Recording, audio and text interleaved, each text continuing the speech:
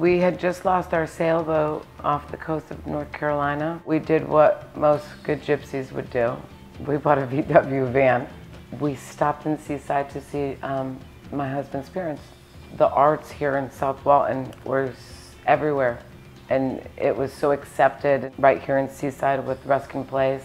After we decided not to leave, a few months later we bought a, a gallery back in the artist colony.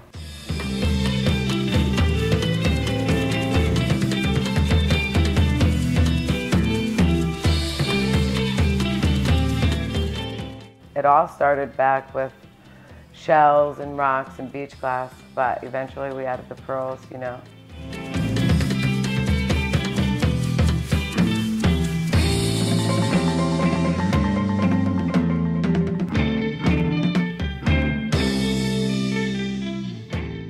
Year after year after year, people want to add to their collection.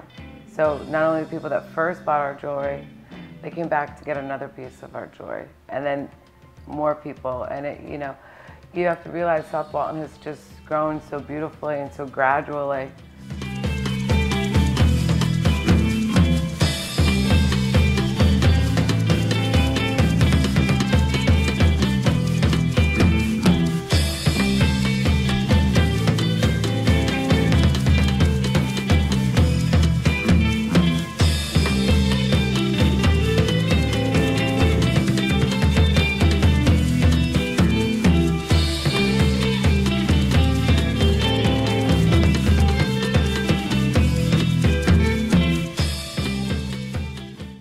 Ses idées à elle, mes idées à moi, tout ensemble.